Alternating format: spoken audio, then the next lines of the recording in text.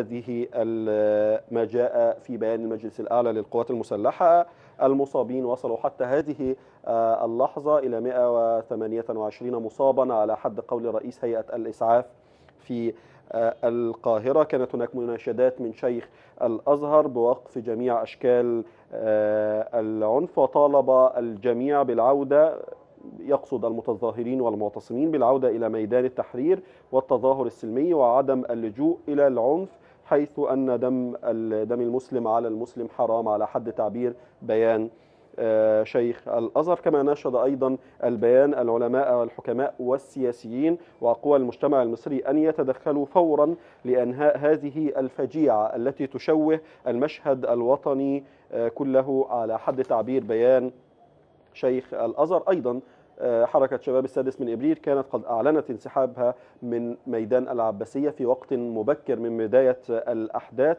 وأدانت الاشتباكات وأدانت العنف ونفت أن يكون بعض أعضاء حركة 6 إبريل شاركوا في استخدام العنف أو الاحتكاك مع قوات الشرطة العسكرية في محيط وزارة الدفاع. أعود إلى حلقة اليوم من برنامج سياسة في دين حيث حالة من القلق بدأت تسود الساحة السياسية في مصر الآن على ضوء ما تحدثنا عنه من تصاعد أحداث ميدان العباسية والمنطقة المحيطة بوزارة الدفاع. مشاهدينا يبقى سؤال رئيسي ما هو موقف القوى الإسلامية من هذه التطورات؟ وإلى أين تتجه الأمور؟ ونحن على أعتاب الانتخابات الرئاسية وكيف يمكن الخروج من هذه الأزمة من الأزمة الراهنة؟ نطرح هذه التساؤلات وغيرها على ضيفنا هنا في الاستوديو الدكتور هشام أبو النصر أمين حزب النور الأسبق في محافظة الجيزة وأحد مسؤولي الدعوة السلفية في الجيزة والذي كان قد أعلن في وقت سابق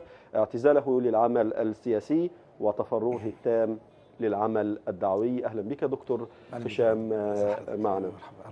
فرضت أحداث اليوم الحقيقة طبيعتها على هذا البرنامج. لكن سأبدأ معك بسؤال هل بالفعل يتحمل التيار الإسلامي جزء مما نراه الآن خصوصا أن بداية الاعتصام بدأت من بعض أنصار حازم صلاح أبو إسماعيل والتوجه الحقيقة قوى أخرى والتوجه إلى بالمقربة من وزارة الدفاع. هل نستطيع أن نحمل التيار الإسلامي كفصيل من هذا التيار هو الذي بدأ الاعتصام بالقرب من وزارة الدفاع دكتور الشام الحمد لله رب العالمين والصلاة والسلام على أشرف المرسلين. هو الحقيقة أنا مش عارف ليه دايما التيار الإسلامي بيكون كبش الفدا وليه دايما التيار الإسلامي بي بيتحمل ما لا يطيق. يعني الحقيقة حصل عند محمد محمود أحداث مشابهة لهذه الأحداث وأنا مش ببرر هذه الأحداث. يعني أنا كنت مع شباب المعتصمين يوم الخميس وطلبت منهم النزول للتحرير. ده أفضل وأحسن وحاولت أخاطب الشباب بلغة الشباب وأكلمهم. وطبعا كان في عدد كبير جدا من التيارات الثورية والسياسية اللي موجودة بالإضافة إلى جزء أو فصيل من التيار الإسلامي اللي حضرتك أشرت إليه؟ قبل أن تكمل فقط دعني أن أنوه مشاهدينا ما نراه الآن على النافذة التي بجواري على شاشة الجزيرة مباشر. مصر هي مسيرة تنطلق من ميدان رمسيس في اتجاه ميدان التحرير. مسيرة انطلقت من ميدان رمسيس بالفعل في اتجاهها الآن للوصول هنا إلى ميدان التحرير بالتأكيد اعتراضا على ما حدث اليوم في ميدان العباسية. وأعود إلى ضيفي هشام أبو النصر وسياسة تفضل دكتور. فبقول دايما ليه التيار الإسلامي يعني بي بيفترض إن هو يدفع الفاتورة علما بأن التيار الإسلامي بيحاول التهدئة. وأنا أعتقد إن من بداية الأحداث لغاية النهارده الدعوة السلفية والسلفيين ماشيين بمنهج راقي جدا. كان أمن الدولة قبل كده بيحاول يقول إن إحنا تيار خطير جدا. ولو سابوا بس رفعوا إيديهم عننا هنسبب مشاكل كتيرة وهنولع في الكنايس وهنعمل ونسوي. من البداية خالص الحمد لله رب العالمين. إحنا شكلنا لجان شعبية لحماية الكنائس في الإسكندرية والقاهرة وكل المحافظات. ودي كانت تعليمات الدعوة إن إحنا لابد من التعامل برفق ولين ولين الجانب ده أصل والسماحة في الإسلام. يعني لها لها وجود عريض للغاية. والحمد لله رب العالمين التيار الإسلامي ماشي بخطوات السلحفاة في التعامل مع الأحداث. ما بيحاولش يسور يسبب ربكة للمجتمع. بيحاول يجي على نفسه قوي بيتعامل بقرارات فيها شيء من الهدوء والتأني والتروي. في صالح المواطن المصري في المقام الأول لأن إحنا يهمنا جدا المواطن المصري مع الحفاظ على فكرتنا ومشروعنا الإسلامي اللي إحنا بنعتبره إنه أصل أصل كبير جدا. اتفضل. قبل ما هندخل في تفاصيل ما حدث اليوم الحقيقة أنا عايز تعقيبك على المشهد برمته. ما حدث اليوم من اشتباكات وصلت إلى أكثر أو ما يقرب من 130 مصابا لا أنا عايز أعقب من ثلاث أيام. يعني آه. أنا متأثر جدا جدا م. أنا خاطبت الشباب وأنا كنت أتمنى جدا إن أولادي أنا خليني أتكلم بلغة الأب. اللي هو حب الأولاد وجبلة ولغة الأخ الكبير اللي هو مفطور على إنه يحب أولاده ويحب والشباب دول جزء مننا سواء كانوا في الجيش أو سواء كانوا شبابنا دول. كلهم جزء مننا جزء لا يتجزأ مننا ولا نرتضي ابدا ان ان أن يسيل هذا الدم المسلم بهذه الطريقة عن هذا الأمر إحنا فزعنا من أجله ولما سمعنا إن في 15 قتيل جرينا بسرعة على هناك وبدأنا نكلم الشباب وخلاص ارجعوا أرجوكم للتحرير حقنا للدماء. فطبعا الشباب كان في منتهى أنت الثورة. ذهبت يا شيخ بنفسك آه، ذهبت بنفسي. ميدان العباسيه ذهبت بنفسي وتكلمت مع الشباب وطلبت من الشباب كلهم. قلت لهم طبعا أنا عارف إن أنتوا ما بتحبوش حد في اللحظات اللي زي دي يواجهكم ويقول لكم انزلوا أو ارجعوا. لكن بلاش إن إحنا ننظر من منطلق ال- ال- العمالة والخيانة والكلام ده خالص. أنا جاي النهارده أكلمكم بصفة الاخ الأخ الكبير والأب بقول لكم لو سمحتم ارجعوا ميدان التحرير أرجوكم بلاش نقرب من وزارة الدفاع. هو ال- القضية إحنا مش هيرضينا ابدا إسقاط هيبة البلد في وزارة الدفاع ووزارة الداخلية. وده اللي كان بيخلينا نتحرك برضو لمحمد محمود. لكن في نفس الوقت لا نرتضي ابدا ابدا إسالة الدم بهذه الطريقة. اسمح لي. اتفضل. بعد ما وجهت لهم النداء ده وتحاورت معاهم يلا ارجعوا باعتصامكم لميدان التحرير. كان ردهم عليك إيه؟ ما كانش في استجابة وكان الشباب ثائر جدا وكان بيقول إحنا في قتل مننا عدد. ولازم العدد دوت لازم النهارده الطلبات اللي إحنا بنطلبها دي يستجاب ولو لجزء من هذه المطالب ونتأكد إن إحنا في طريقنا للثورة الحقيقية لأن اللي حصل ده ليس إلا فوره ولا يسمى بثورة. فده كان خلاصة كلام الشباب يعني اللي كلمناهم كلهم. قطاع منهم الحمد لله بقى يكلمني على جنب ويجي يقول لي يعني أنا أمشي؟ يعني أنا أرجع؟ كنت بقول له آه. ارجع حبيبي واقعد في الميدان مفيش مشكلة خالص. والثورة دي أهم ما كان يميزها أنها ثورة سلمية. والثورة عادة في الثورات أو في في المظاهرات أو في الاعتصامات بيبقى مناخ جيد لوجود بعض المندسين. لازم يتواجدوا مثل هؤلاء اللي بيحاولوا النهارده التخريب وبيحاولوا النهارده استغلال الموقف الشائك دوت علشان يحققوا بعض الأهداف الشخصية أو بعض الأجندات اللي بتحمل داخل مصر لتهديد أمن مصر القومي من جهة. وللقضاء على ظهر شباب مصر لأن النهارده الشباب اللي عمال يموت ده النهارده هيكلفنا كتير قوي أنا قلت لواحد من الشباب يعني أنت النهارده تساوي كتير قوي وأنت ثروة قومية خسارتك خسارة أرجوكم فكروا بشكل جيد وأنا طبعا مش هقدر افرض عليكم حاجة. أنا كنت أتمنى تكون الاستجابه سريعة. أنا كنت رايح متصور إن اللي موجود واسمح لي إن أنا أخاطب الإعلام وأقول للإعلام اتقي الله. يعني كان اللي موجود اللي أنا رايح متصوره آه إن من كنت بش كنت طريح الفراش وكنت بسمع من الإعلام. لمدة 3 4 أيام إن اللي موجودين فصيل معين بعينه يخص مرشح معين حازم صلاح أبو إسماعيل وهم موجودين وهيولعوا الدنيا عشان موضوع حازم دوت. فلما رحت لقيت كل التيارات السياسية موجودة. كل. الاتجاهات الثورية موجودة. الشباب السلفيين اللي موجودين اللي, اللي هم جزء من حملة الشيخ حازم كما يقال أو أو غيره أنا ما سألتهمش. لقيت دول ودول ودول ودول وكلمت الجميع وتحاورت مع الجميع. ما كانتش القضية قاصرة على شخص بعينه. ومع اعترافي وإقراري الكامل إن اللجنه اللي بدأت في التحرير كانت اللجنه بتاع الشيخ حازم صلاح أبو إسماعيل الشباب اللي كانوا موجودين. كانوا يخصوا الشيخ حازم إحساسهم بالقهر أو الظلم هو اللي دفعهم للنزول وإحساسهم بأن الرجل اللي هو بيمثلهم ده صادق. الشيخ حازم اقسم لهم أربع مرات قدام مجلس الدولة أن رجل أمه ليس بأمريك ليست بأمريكية فده خلى الشباب يتحفزوا أكتر الشاهد في القضية إن دي كانت اللجنه الشباب اللي كانوا موجودين هنا.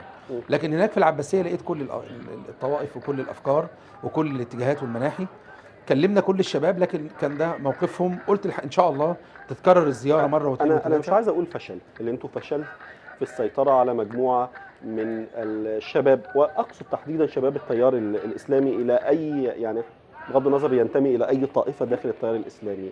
ليه مش قادرين تسيطروا على هذا القطاع وهذا الجزء من التيار الإسلامي والحقيقة أنتوا كمشايخ بتمثلوا عندهم يعني الحقيقة واجهة قوية وطيبة وبيسمعوا كلامكم حتى يعني كانوا منتظرين أنتوا هتدعموا مين في الانتخابات الرئاسية عشان هم يروحوا وما زال ده. حصل الحمد لله وما زال للحياه طب ليه ليه في اللحظة دي فشلتوا أنا عايز أقول لحضرتك م. إن الدعوة السلفية بتتميز بإن أبنائها تعودوا على وتربوا على إن هم يحترموا مشايخهم. ويقدروهم جدا جدا ويجليهم ويجلوهم. والفهم ده انتشر للسلفيين عموما إن بقى في تقدير للمشايخ لكن هي القضية لما بتتلاقى ال- اولا الثورة مع الشباب. بيبقى صعب النهارده احتواء الكلام ده وخصوصا لما بيكون في أفكار مختلفة واتجاهات مختلفة والشباب بيأثر في بعضه جدا.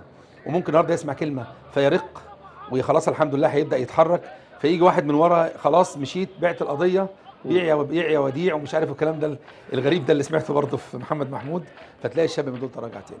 وحس إن هو لا مش هيقدر إنه يخسر إخوانه ومش هيقدر يخسر الشباب ومش عايز يخذلهم وبيتصور بهذه الطريقة إن هو أدى الدور اللي عليه وان ده واجبه أسألك بصراحة اتفضل. في تيارات كانت موجودة في في ميدان العباسية تحسب على التيار ال- السلفي الجهادي؟ شفت ده بعينيك لا مطلقا. أنا ما أعرفش أصلا. يعني خليني أقول لحضرتك إن عيني أنا أستطيع النهارده إن إنها تميز بين صاحب لحية وصاحب لحية. ده ما أقدرش أقول مم. لكن أقدر أقول إيه النهارده؟ عموم الشباب اللي موجودين عندنا في محافظة زي محافظتنا الحمد لله عارفينهم كويس قوي وحتى بالشبه أو بالشكل. ما أقدرش اصنف واحد من خلال رؤيتي ليه. ومسألة سلفية جهادية والكلام ده برضو الكلام ده أنا مش عارف هل ده موجود. سمعنا إن في سلاح ومش سلاح وشفنا النهارده كلنا بعينينا إن الاولاد اللي كانوا بيضربوا بيضربوا. بطوب. بيستخدموا حجارة. حجارة. فما فيش أي حاجة اسمها سلاح بقى ولا كلام من ده خالص تماما ده كلام كله مبالغ فيه. أنا بس بقول للناس حنانيكم اتقوا الله عز وجل. ليه مفروض على التيار الإسلامي دايما إن هو يدفع الفاتورة؟ قبل الثورة وبعد الثورة. يعني ليه بتحملونا ما لا نطيق؟ طيب. يعني حضرتك النهارده لو شفت بيان الدعوة السلفية النهارده حضرتك أو سمعت حزب النور رفض النهارده النزول. ليه النهارده. درءا لهذه الفتنة ومنعا للمشاكل إنها تكبر أو توسع. ده تبرير أو تصرف. بعض المشايخ كان ليه رأي آخر. البعض الآخر كان ليه رأي آخر. إحنا كلنا قلوبنا مع الشباب وبنأيد النهارده الحس اللي موجود عند الشباب في حقهم إن هم يعيشوا غير ما إحنا عشنا. ويشموا هوا نقي. ويستنشقوا عبير الحرية كويس. ويستشعروا الأمن والأمان. تقييمك لمشهد اليوم والذي انتهى بحظر التجوال وسقوط عدد كبير من الإصابات. أنا في غاية التأثر وفي غاية الحزن والحقيقة يعني يعني يمكن ده اللي جابني النهارده. أنا جاي عشان أوصل رسالة بعينها. الحقيقة أنا خلاص كنت قررت قرار إن أنا مش هتعامل مع الإعلام خالص تماما. لكن جيت النهارده بس عشان أقول للشباب أرجوكم أرجوكم أنتم بالنسبة لنا شيء كبير قوي ومهم قوي. كفاية اللي حصل أرجوكم ارجعوا ميدان التحرير. واعتصموا هنا اعتصام اعتصام سلمي. عبروا عن طلباتكم بشيء من الرقي الثورة بدأت بدأت سلمية. حافظوا على نفسكم أنتوا كنز أرجوكم بلاش تفرطوا في نفسكم بهذه البساطة. وبقول ده من ناحيه من ناحية تانية. بقول للمجلس العسكري انت مسؤول قدام ربنا ثم قدامنا دلوقتي تقول لنا مين البلطجية اللي قتلوا شبابنا وذبحوهم أنا شفت صورة وروهاني على تليفون واثنين وثلاثة هناك لشاب مذبوح والطبيب اللي قتل والشاب اللي الطالب بتاع كلية الطب اللي قتل. أنا بقول المجلس العسكري الآخر مطالب بإن هو النهارده يقول مين دول وعملوا كده إزاي وإزاي قدروا يوصلوا للشباب دول ويحصل فيهم المجزرة الخطيرة اللي حصلت ديت. وفي نفس الوقت كمان برضو بقول تاني لشبابنا إحنا بلاش نهاجم النهارده الأماكن اللي من خلالها نسقط هيبة الدولة. بلاش نهاجم وزارة الداخلية. بلاش نهاجم وزارة الدفاع. انت قضيتك النهارده انك ليك مجموعه من المطالب وشايف ان من وجهه نظرك النهارده العسكر لازم يرحلوا ودي وجهه نظر عدد كبير النهارده من القوى السياسيه بيتفق عليها. والناس النهارده بيقولوا هنمشي 30 6 ايا كان. ماشي 30 6 مش ماشي. أنت بتعبر النهارده عن طلباتك وأنا مؤمن تماما إن طلباتك دي شرعية للغاية. خليني أسألك في النقطة دي. تفسيرك لحالة الغضب المتصاعد تجاه المجلس الأعلى للقوات آه، المسلحة يعني؟ عدة عوامل. اتفضل. هي عدة آه. عوامل. أنا خليني أقول لك رأي الشارع. يعني. أقول الشارع اللي بنسمعه كلنا إيه. م. دايما الناس كلها بتتكلم النهارده وأنا في جزء كبير جدا من الكلام ده أنا مؤمن بيه أنا شخصيا. لما أنا النهارده أكون عندي مجلس شعب عمال يصدر مجموعة من التشريعات النهارده ومش لاقي حكومة تنفذها. لما الاقي احتياط النقد الاجنبي بتاعي عمال يقل بشكل خطير جدا ويخوف إن البلد داخلة في نوع من الانهيار واحتياط النقد الاجنبي ده بيدخلنا في اعلان إفلاس في يوم من الأيام. لما الاقي مجموعة من الأزمات الممنهجة والمفتعلة موجودة عندي آه، زي البنزين والسولر والغاز وغيره. لما الاقي عندي النهارده قتلة الثوار لم يحاكموا إلى هذه اللحظة. غصب عني سيتسلل إلى قلبي الشك سيتسلل إلى قلبي الشك والريبة. أمر طبيعي جدا جدا النهارده إن أنا أحس بده. الشباب مش قادر يلاقي إجابة. لازم يفخ يخاطبوا عقل هؤلاء الشباب ويقولوا لهم إجابة. أمر مهم جدا. الشباب النهارده مش عايز المجلس يمشي النهارده مش عايز هذا الخواء السياسي بس عايزه يمشي في 30 6 زي ما وعد. ده كلام الشباب. مشوا الناس في 30 6 زي ما وعدوا. إلغوا المادة 28 اللي بتدي حصانة مطلقة للجنة الرئاسية. يعني دي الطلبات اللي بتتقال. وفي نفس الوقت كمان أنا شرحت لحضرتك رؤيتنا كلنا النهارده كعوام الناس كمواطنين عاديين جدا جدا النهارده. أنا شايف قدامي إن بلدي ما بتقدمش خالص. وشايف آه في إحنا قمنا بثورة ولازم نتحمل شوية ولازم ندفع الثمن بس ليه ما نتكاتفش كلنا عشان نحل الأزمات. خليني بس أؤكد على هذا الخبر العاجل والذي ورد الآن على شاشة الجزيرة مباشر مصر. اشتباكات في محيط مديرية أمن السويس والقبض على خمسة أشخاص. نشبت مشاهدين اشتباكات في آه، محيط مديرية أمن السويس والقبض على خمسة أشخاص. وسنوليكم أولا بأول بتفاصيل هذه آه، الاشتباكات. والوضع هناك في السويس آه، حال وصول إلينا أي معلومات جديدة. آه،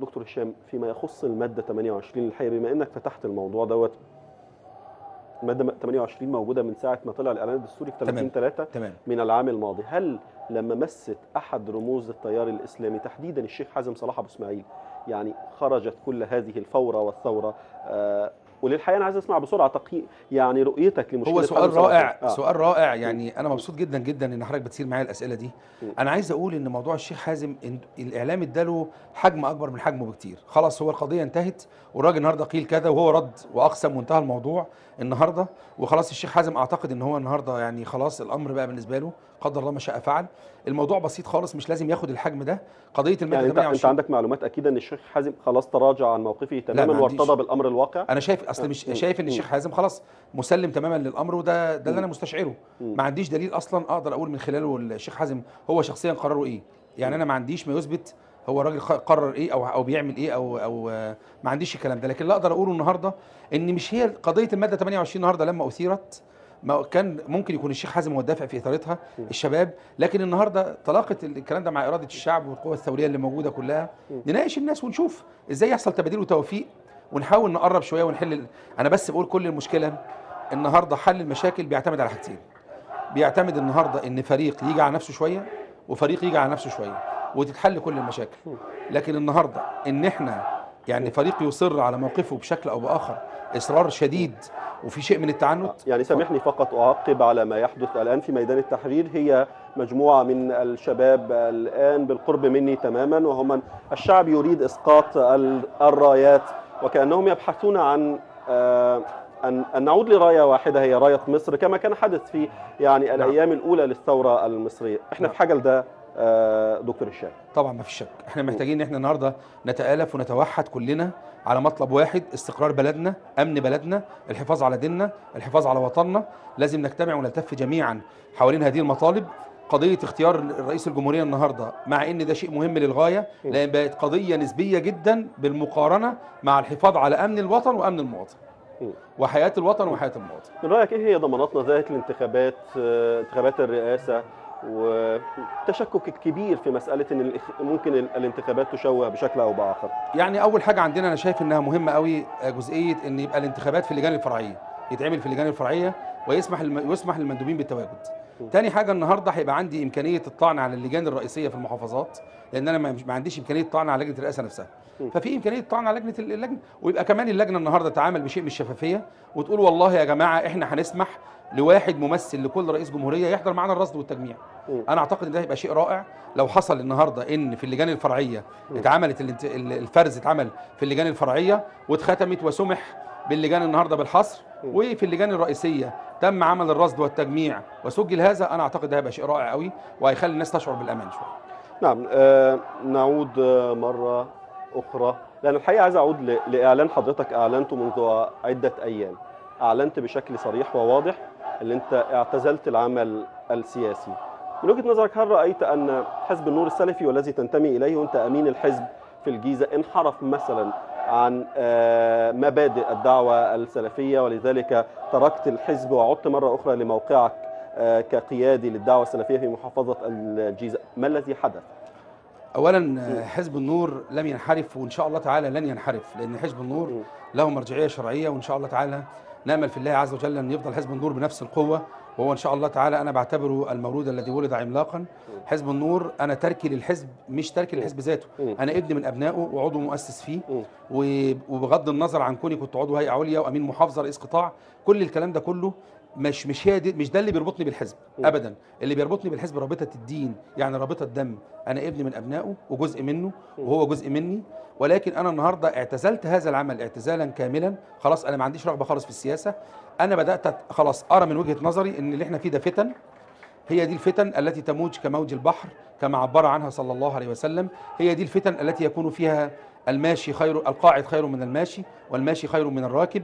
هي دي الفتن اللي أنا أقلق على نفسي جدا جدا منها. وبالتالي بدأت الحمد لله أستخير وبهدوء خدت القرار. لكن أنا يعني زعلان جدا وحزين إن الإعلام بيحاول يستفيد من الموقف ده ويحاول إنه يوجد صدع ويقول في ده الدكتور هشام آه، مش عارف عمل إيه ده حصل إيه وكل الكلام ده كذب يعني عايز أقول لحضرتك حتى كل- كلام بعض قيادات حزب النور إن اللي عمله الدكتور هشام آه، كان شكل من أشكال الشو الإعلامي. الحقيقة أنا قريته. وأنا مش عارف مدى صحة هذا أنا الكلام ما أعرفش أصلا. وأنا بوجه لك السؤال ده دلوقتي. لا أنا ما يعني. أظنش هل في حد من القيادات الحزب النور اللي. عمله الدكتور هشام ده كان شو إعلامي؟ قيادات الح- الحزب أرقى من ذلك بكثير.